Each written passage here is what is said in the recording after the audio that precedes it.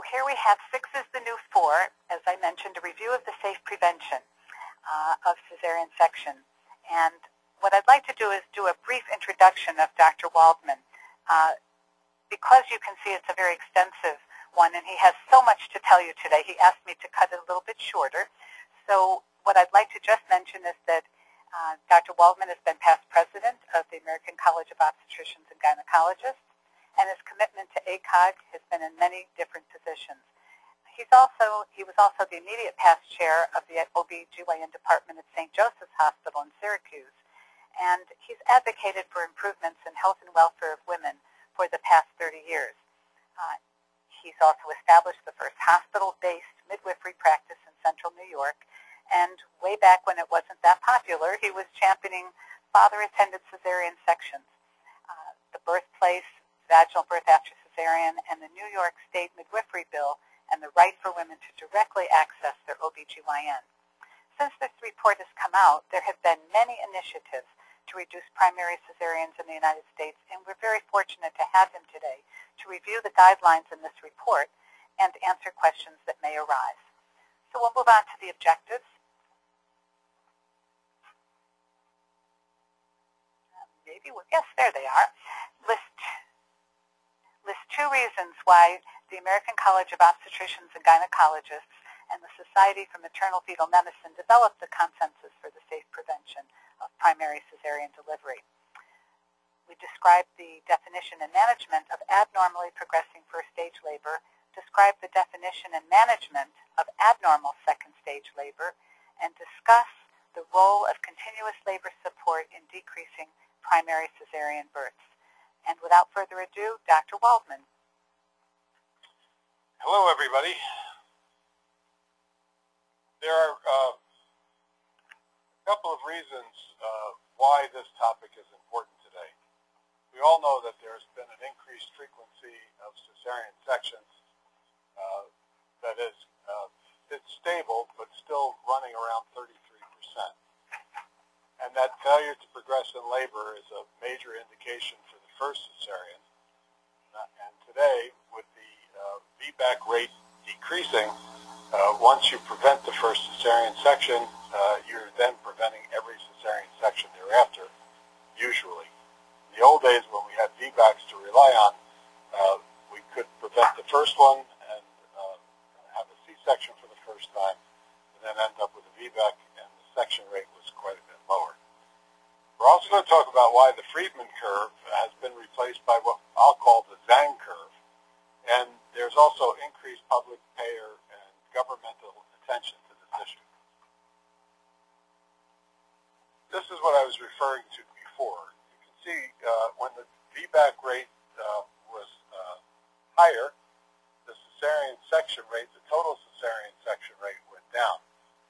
But when the VBAC rate plummeted in uh, 1996, the total cesarean section rate went up, and the primary cesarean section rate went up. This uh, graph just shows you that labor arrest accounts for 34% of the uh, primary cesarean sections.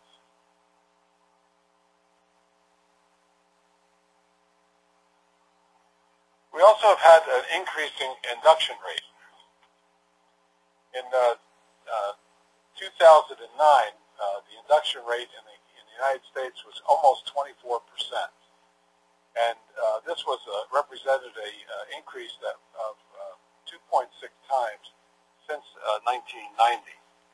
In one report out of Delaware, 44 percent of the patients were induced, and 40 percent of those inductions were elective inductions, that was out of almost 8,000 women, a significant number of inductions. And there are hospitals today where the induction rates are very high. This curve comes out of uh, California, and uh, the pink are the indicated inductions, and the blue are the elective inductions. And you can see that some hospitals have a significant number of inductions uh, that are purely elective and some indicated and that other hospitals have a low rate of elective inductions and only uh, indicated inductions, and that there's a large variation between that. So hospital practice varies quite a bit from hospital to hospital with respect to inductions of labor. This is a, a curve that comes out of the March of Dimes, which shows that the cesarean section rate has been increasing at every gestational age, and that the induction rate, this is a comparison between 1992 and 2002, has also been increasing between every gestational age. For, for years, uh, the Friedman curve has helped us define labor. Uh, Friedman, uh, actually, uh, I realized just recently that he did this in his 20s, uh, studied 500 pregnancies, and he created curves uh, that define normal and abnormal labor progression. And he was the first one to depict the labor curve and divide the labor process into stages and phases. In his uh, work, he called abnormal labor progression as 1.2 centimeters per hour in nulliparous women and less than 1.5 centimeters per hour in multiparous women. And I think we all can remember that he said if you don't progress in two hours, that was considered an arrest of labor these concepts have really come to go govern our labor management. And, in fact, it's a mark of quality for Friedman curves to be filled out in maybe many uh, labor units across the country. However, Friedman's curve is probably obsolete. and I'll show you why in a couple of seconds. Uh, these criteria were created 60 years ago and uh, no longer may be applicable to contemporary obstetrical populations and uh, may not may not be accurate for current use. The data from the Consortium on Safe Labor was a multi-center, retrospective observational study that abstracted detailed labor and delivery information from electronic medical records in 12 clinical centers. Uh, that included 19 hospitals across nine districts of the American College of Obstetricians and Gynecologists from 2008 and 2 to 2008. And almost 90% uh, of the births occurred between 2005 and 2007. I've given you the reference to this uh, in uh, the uh, Obstetrics and Gynecology, the Green Journal, in this article that was published in 2010, uh, Contemporary Patterns of Spontaneous Labor with Normal Neonatal Outcomes.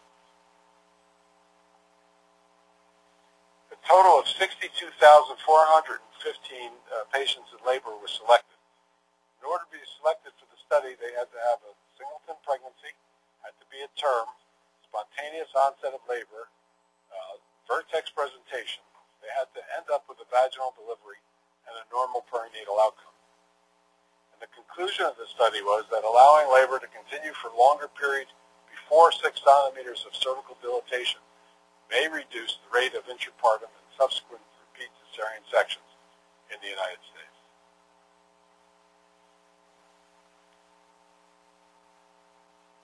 Uh, we, have gone ahead. Let me back up just a little bit. Okay. So this is the curve.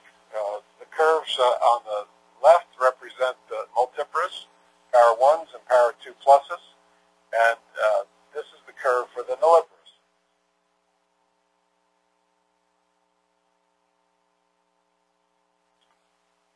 this is uh, the uh, curve compared to the Friedman curve. Here's your Friedman curve, and here's your Zhang curve. Obviously, this, these curves are quite a bit different, with the Zhang curve having a lot more time before 6 centimeters of dilatation. If you look at this uh, study in a, a, different way, uh, this chart shows you uh, how much time 95% of the patients took to get from one centimeter dilatation to the next. So from four centimeters, uh, it could take more than six hours to progress to five centimeters. And five centimeters, it could take more than 3.2 hours to progress to six centimeters. This is very much different than what we've been uh, thinking about if we've been using the Friedman curve. And surprisingly, the, the curves uh, of both nulliparous women and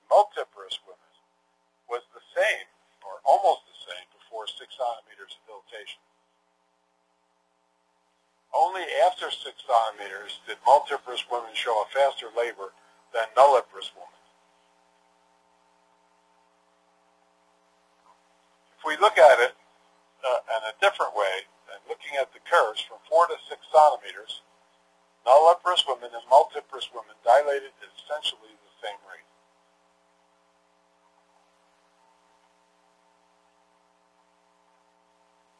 And according to the study, the active phase of labor does not start until 6 centimeters of dilatation. So 6 is actually the new 4, because we've always thought that active labor started at 4 centimeters of dilatation. And uh, we always managed our labors based on the 4 centimeters of dilatation. But you can see that up until 4 centimeters of dilatation, uh, the labor curves did not take off. Up until 6 centimeters. So why why is Friedman's curve obsolete, or why is there a big difference between Zhang's uh, curve, if you will, and the Friedman curve? Well, for one reason, anesthesia and augmentation are much more common today. Uh, we all know that birth and maternal weights have increased substantially uh, since Friedman uh, started uh, recording his births. There's also significant methodological differences. Friedman plotted the 500 individual curves then synthesize them into one curve, whereas these uh, uh, researchers used a different methodology. And Friedman curve probably represents an ideal curve rather than an average curve. According to the obstetrical care consensus, and this is a quote, because they are contemporary and robust, it seems that the consortium on safe labor data, rather than the standards proposed by Friedman, should inform evidence-based labor management. In other words, throw Friedman curve away and use these Zhang curves in your current labor practice.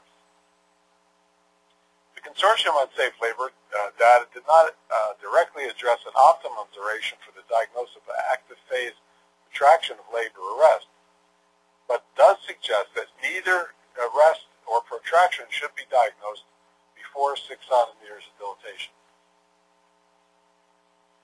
Another way of, of looking at it, and this comes from up to date, is that the more dilated you come into labor, the faster you're going to be in labor.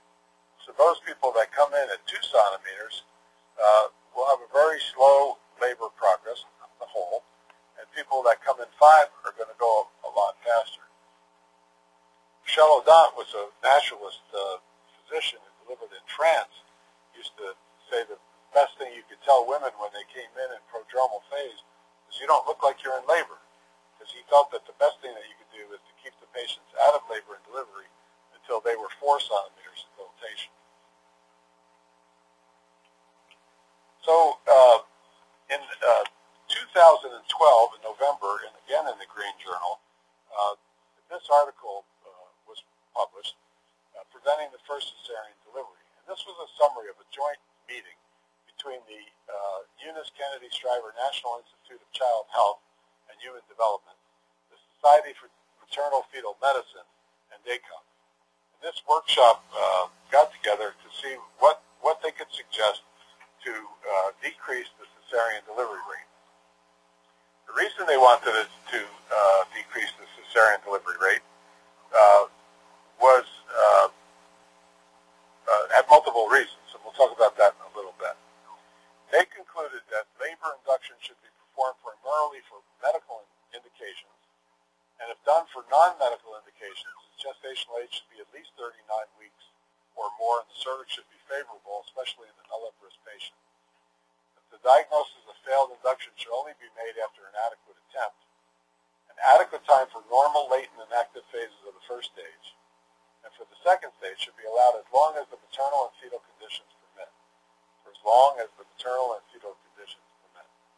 The adequate time for each of these stages appears to be longer than traditionally estimated.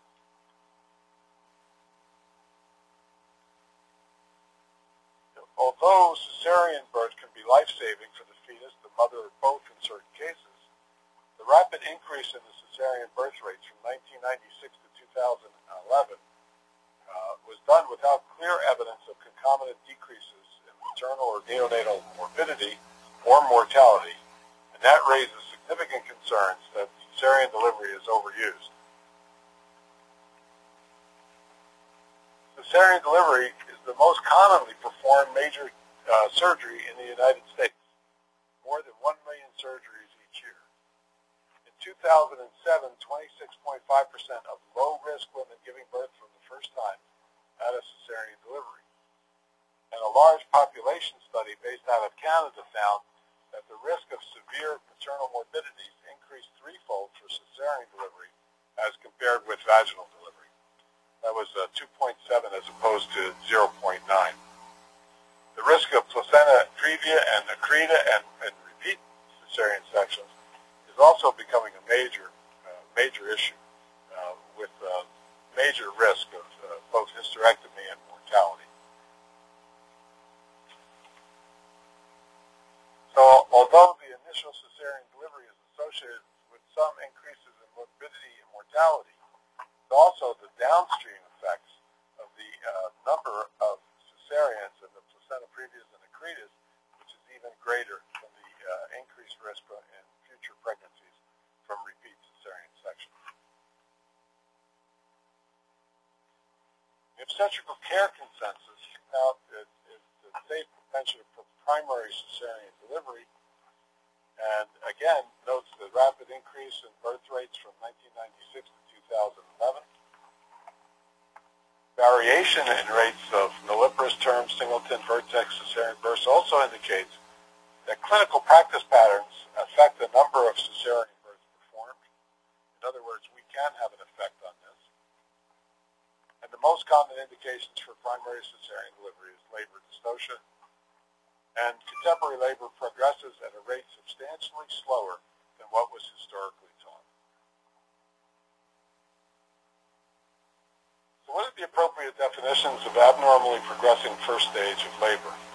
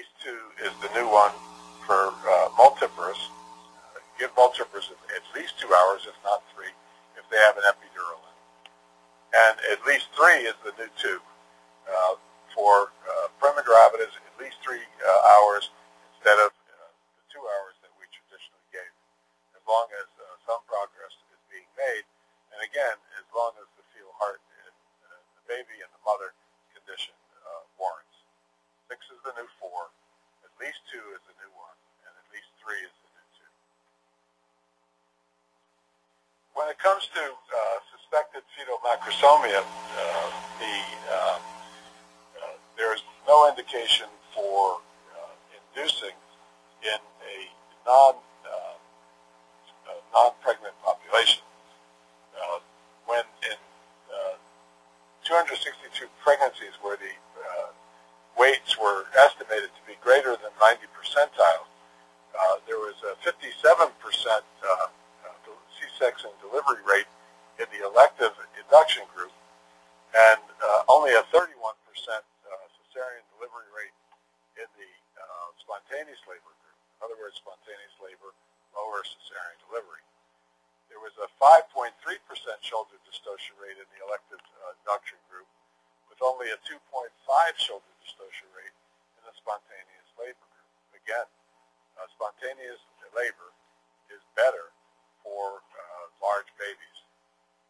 So uh, their recommendation is that routine induction of labor for macrosomia is not recommended. And uh, furthermore, labor induction prior to term late preterm birth is associated with increased neonatal uh, uh, morbidity. And that's also uh, consistent with up to date because elective induction for larger babies does not reduce the risk of shoulder dystocia. It does double the risk of cesarean delivery. We're, again, we're talking about non-diabetic population.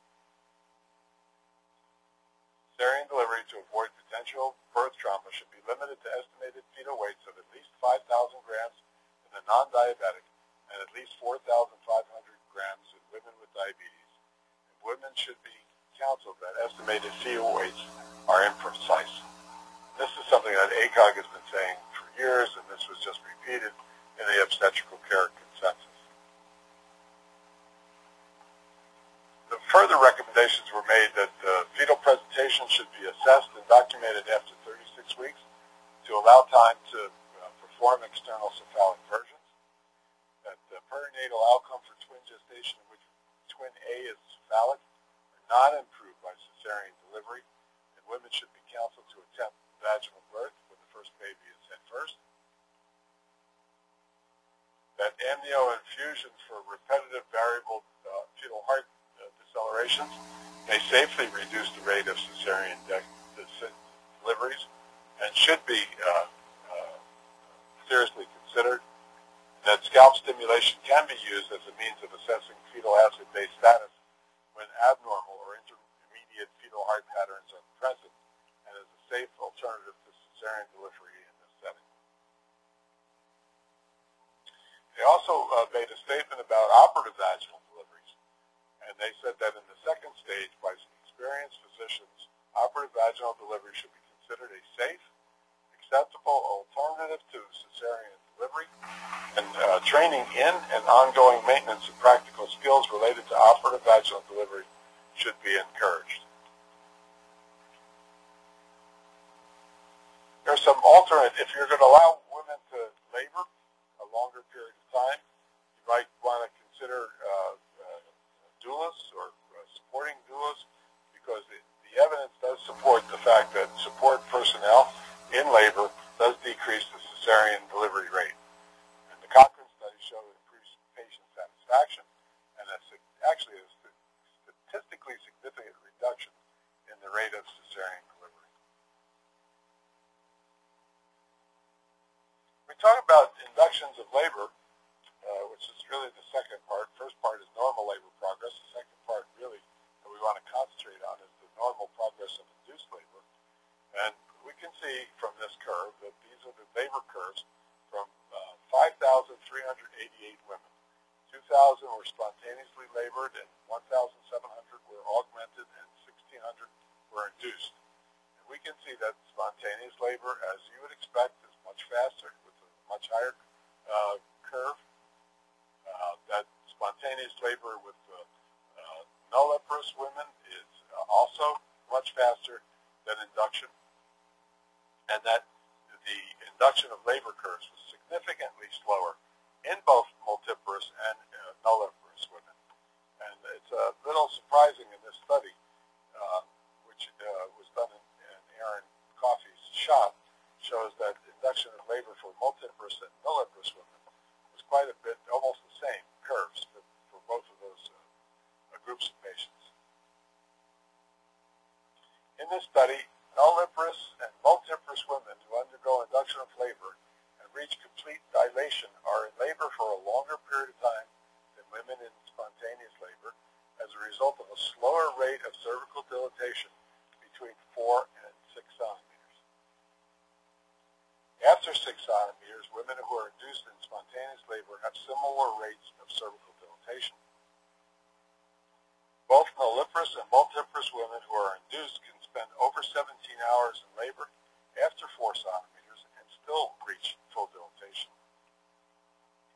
Cervical dilatation before 4 centimeters may be even slower in women who are induced, requiring over 8 hours to progress from 3 to 4 centimeters.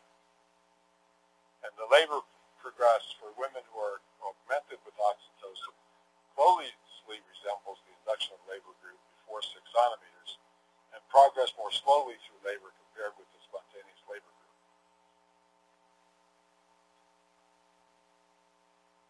So their conclusion is that the latent phase of labor is significantly longer in induced labors compared with spontaneous labor, although in the active phase of labor greater than 6 centimeters, the curves are similar between the two groups.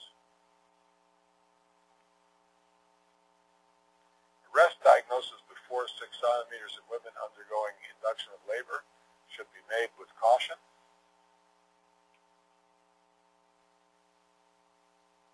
The obstetrical care consensus says that if the maternal and fetal status allows, cesarean deliveries for failed induction of labor in the latent phase can be avoided by allowing longer durations of the latent phase, up to 24 hours or longer, and requiring that oxytocin be administered for at least 12 to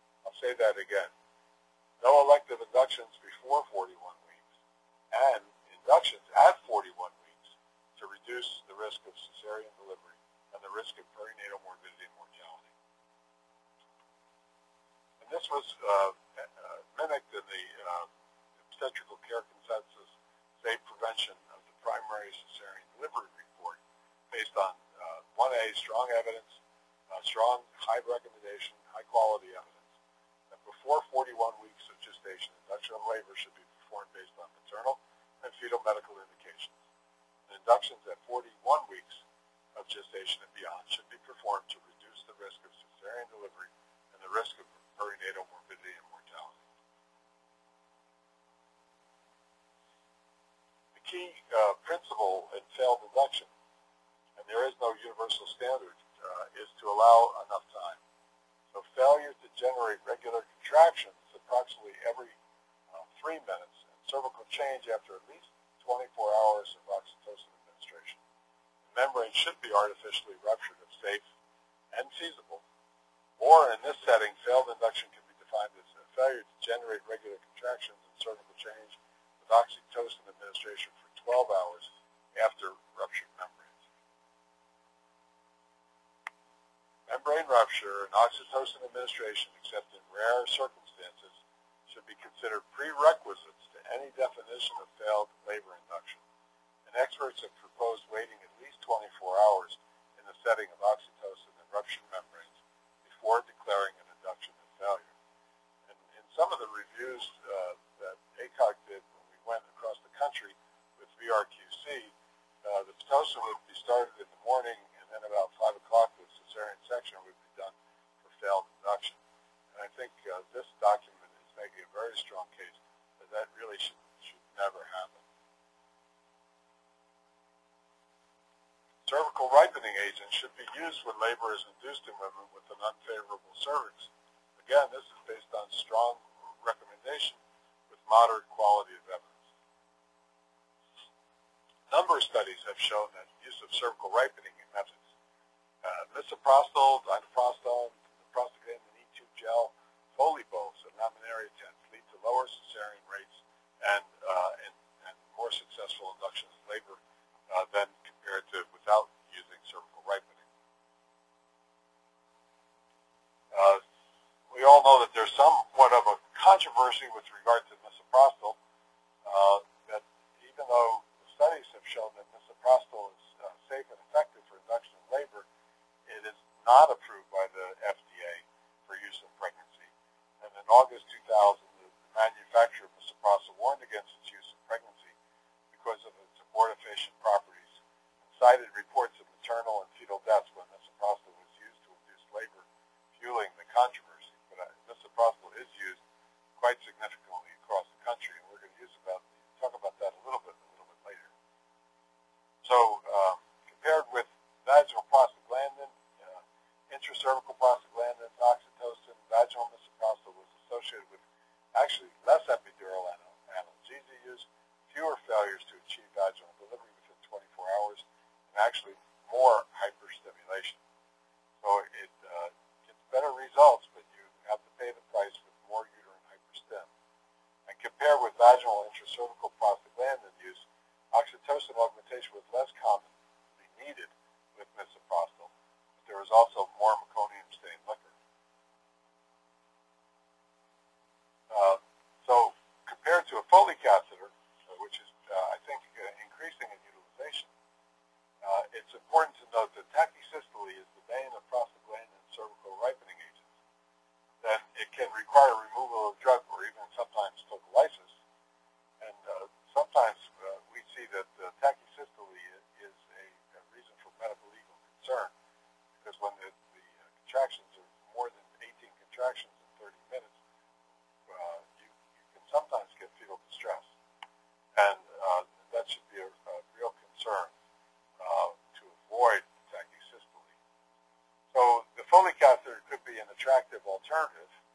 And a recent meta-analysis of 1,600 patients comparing the two showed that the uh, time to delivery, the risk of chorioamnionitis, and the risk of cesarean delivery not actually differ between the two induction methods. But tachysystole, as I mentioned, was nearly three times as common with the use of misoprostol. So maybe uh, Foley catheter should be considered a little bit more frequently. Cervical ripening lowers the rate of cesarean delivery compared with oxytocin induction alone. Tachysystole notwithstanding, no method of cervical ripening uh, is clearly superior to any other method. If you develop tachysystole, uh, you should discontinue the uh, misoprostol or oxytocin or prostaglandin. Uh, get the patient in a left lateral uh, position, administer oxygen, increase the intravenous fluids, and if there's no prompt response, use either terbutaline or uh, atosiban and uh, or nitroglycerin in, the, in recalcitrant cases. Now, there are uh, some controversy with respect to the impact of induction on cesarean section rates. In a number of studies,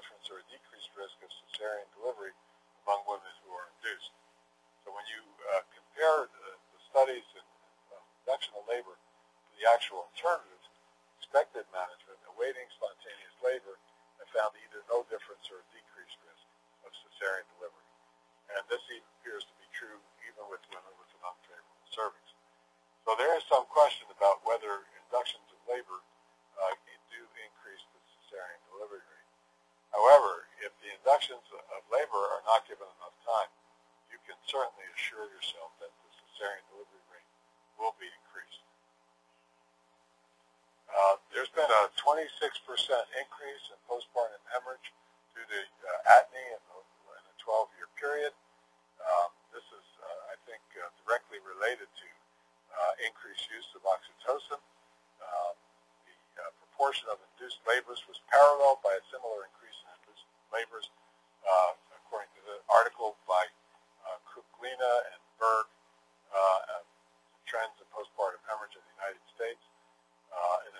study, women with severe postpartum hemorrhage secondary to uterine atony were exposed to significantly more oxytocin during labor compared to matched controls. And another study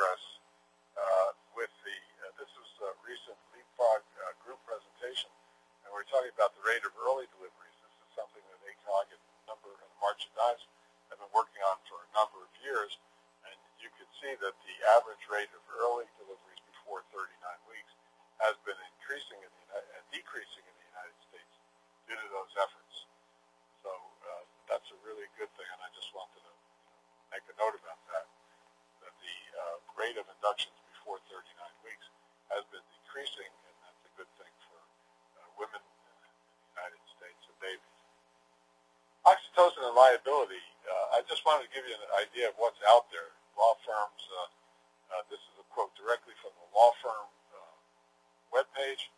Uh, this law firm has represented many families and loved ones have died or been injured as a result of medical malpractice associated with the use of pitocin oxytocin to induce labor, the injudicious use of uh, excessive doses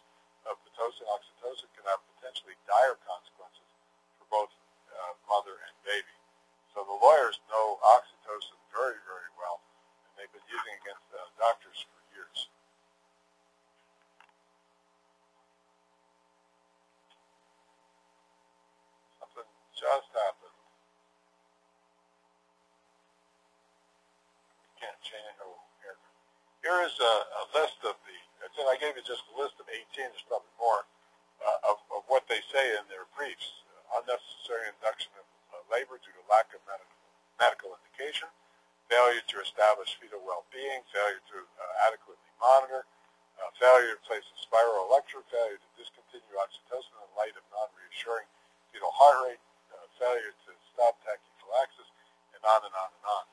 Um, I just wanted to give you an idea of how these uh, Pitocin can be used against you in the court of law. So uh, I suggest that you use a checklist. Here is a checklist for misoprostol um, that uh, actually appeared in Journal of Midwifery in 2003, but it looks like a, a very good uh, suggestions that there should be appropriate indications, that there should be clear definition of patients who should be excluded from use based on ACOG committee opinion that states that misoprostol uh, should not be used with previous cesarean delivery or uterine scars, or there are insignificant uh, data to, on the safety in women with multiple gestations or uh, suspected fetal macrosomia, that evidence-based dosing regimens, uh, ACOG committee opinion recommends 25 mics, vaginal misoprostol administered not more frequently than every three to six hours, criteria for repeat misoprostol doses and maximal allowable number of doses, and uh, minimum four-hour waiting period between the last misoprostol dose and the initiation of oxytocin, if necessary. Continued fetal heart rate and uterine contractility monitoring, management options for hyperstim, criteria for physician consultation and referral, uh, documentation of informed consent, and use of a standard approach to pill preparation. This uh, pre-oxytocin checklist comes out of the Hospital Corporation of America, who's done a lot of work with this. And uh, Steve Clark uh, is the author of the article. Uh, but they, this is uh, requires they require a physician or midwife order on the chart before Pitocin is started, current H&P on the chart, prenatal record on the chart. The indication for the induction is documented.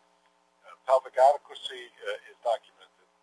Estimated fetal weight has to be current. Uh, gestational age has to be documented. Consent signed. A physician with C-section privileges is aware of the induction readily available, and this is documented in the, in the medical record. And the status of the cervix is assessed and documented. Presentation is assessed and documented. This is only to be used for women with uh, singleton pregnancies. ACOG's Choosing Wisely campaign uh, suggests that you should not schedule elective non-medically indicated inductions of labor between 39 weeks and 41 weeks unless the cervix is deemed favorable. Ideally, labor should start on its own initiative whenever possible. Higher cesarean delivery rates result from inductions of labor when the cervix is unfavorable, and healthcare practitioners should discuss the risks and benefits with their patients before considering inductions of labor without medical So uh, we're, we've talked about changing the culture of labor and delivery, changing the time frame. Uh, six is the new four. Uh, at least uh, three is the new two. At least two is the new one. Uh, we've talked about avoiding inductions of labor unless uh, medically indicated, and that uh, sometimes medical indication might be 41 weeks and zero days. Uh, we've talked about giving women both in labor and, and uh, also inductions adequate amount of time uh, to uh, labor before uh, considering labor uh, a failure to progress. And uh, we also uh, uh, have talked about uh, we, we need to change the local culture and attitudes of obstetrical care providers uh, so that we can give women more, more time in labor. So uh, I think we're at our 45 minute mark and I'll be happy uh, to answer any questions. Uh, thank you for listening. Well, thank That was a lot of material in a very short period of time. Uh, and I'm pretty sure that uh, there, we have some questions uh, for you. Uh, remember that you can ask questions by clicking on that orange box with the white arrow in the upper right-hand corner of your screen. Type in your question, press send, and we'll try to answer as many questions as possible. And thank you so much for your questions as they come in. Uh, I do have a couple here to start with. Is there a medical legal risk for allowing a woman to push for four or more hours?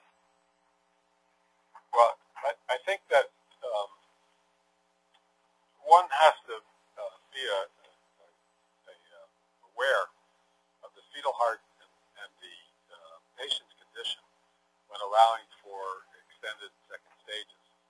And it would be a mistake uh, just to assume that you can allow a woman to labor longer uh, or you just close your eyes to the second stage uh, and, and not pay attention. You have to pay attention to the fetal heart rate. And if the fetal heart rate is good, reassuring, that second stage can go on for uh, three, four hours for sure. Uh, but the, the fetal heart or the patient's condition is questionable. That's when you really have to intervene. So it's not a, an absence of management. It actually requires you to be more managing because you also have to look at whether uh, the patient progress during that second stage. So if there's absolutely no progress, or the, the fetal heart is, is not making uh, you comfortable, uh, there is uh, you can be sued if uh, anything happens to the patient, uh, either the mother or the baby. So yes, there are some dangers in allow, allowing women to push for a longer period of time, especially in this transition period uh, where we're going from uh, Friedman concepts to the Zhang concepts. Good. Okay, um, here's another one. Uh, what do you think should be the appropriate primary cesarean rate?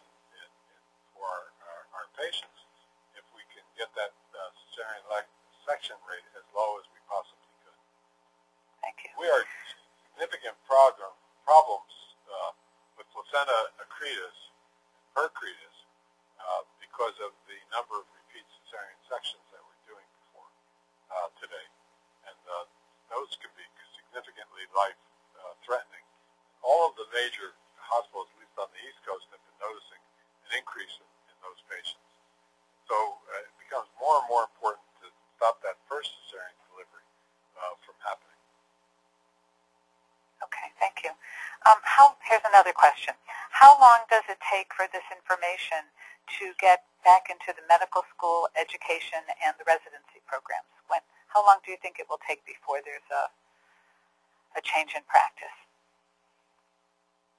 Well, that's why I'm happy to, to present this because uh, just because the article was published doesn't mean that the culture in labor and delivery is going to change uh, across the country. Uh, I think we, we're going to need a number of years of education. Uh, you know, some, some early adopters are going to be out there, but the late adopters could take five or six years. Uh, and so we need to keep talking about it and keep presenting them with the facts and the data, which is uh, pretty strong evidence that this is a, a reasonable approach to labor Okay, I have another one. Uh, must be from a childbirth educator. How can we get more expectant couples to take childbirth classes to learn about this important information? Or better still, how can we get the care providers to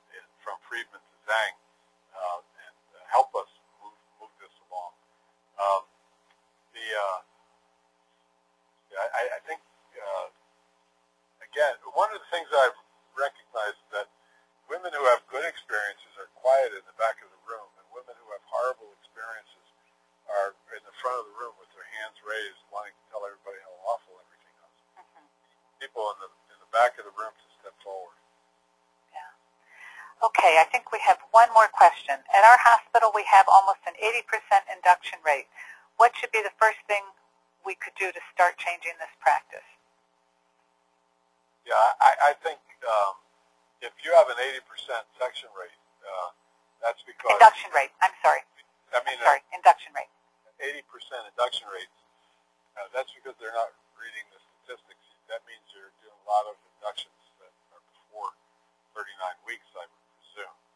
And I, I think, uh, you know, I, I think we need to bring, the, you know, the ACOG document forward and, and ask, uh, you know, why are we doing uh, elective inductions before uh, 41 weeks uh, if they're not medically indicated? You know, I think the only thing that you can do is bring bring the facts forward uh, to your physicians and challenge them. Bring in Good. speakers. Uh, Bring in speakers. Good idea. Oh, I think another question. Is there evidence to support 41 weeks gestation would result in a placenta that is adequate to support for induction and pitocin? Yes. Uh, that, the Cochrane review is very clear that waiting until 41 weeks is uh, a good idea, but not going much beyond 41 weeks is uh, not a good idea. Uh, I, I actually come from an era, an era of waiting till 43 or 44 weeks, and uh, I practiced in that uh, for many, many years. And as a clinician, uh, over a period of time, even though I was a naturalist, I really came down to not letting women go much beyond 42 weeks. And what happened when I went from uh, 43 and 44 to 42, I stopped seeing meconium and meconium aspiration, which actually almost disappeared in, in my hands. Uh, and so um, uh, certainly 41 weeks is a, a very adequate uh, amount of time for the placenta to be healthy and to support uh, a normal labor. And uh, actually, you know, that's what the Cochrane pro- uh, project shows, and that what, it, what ACOG and MFM uh, group is saying. Mhm. Okay, uh, let's see. I think that's probably about it for questions today, and we're just about at the end of our time. I'd like to thank Dr. Waldman for his presentation. Um, I'd like to remind uh, folks that are on the line that we do have uh, uh, an upcoming webinar with Dr. Acker, Revisiting Preeclampsia, the New Guidelines. Uh, that will be Wednesday, September 24th, so please stay on the lookout for that. And uh, I also would like to uh, tell people that the presentation will be posted on the o, um, OB Consult website. So should you uh, know that, you know, think that you didn't get everything you should have and you wanted to go back and look at some of the slides at the bottom of the screen, you'll see the website information and you'll also see contact information for Dr. Waldman and my colleague Maggie Finkelstein and myself. And so on behalf of OB Consult uh, and Dr. Waldman, we thank you for attending today and we'll look forward to seeing you again in September. Thank you very much, everybody.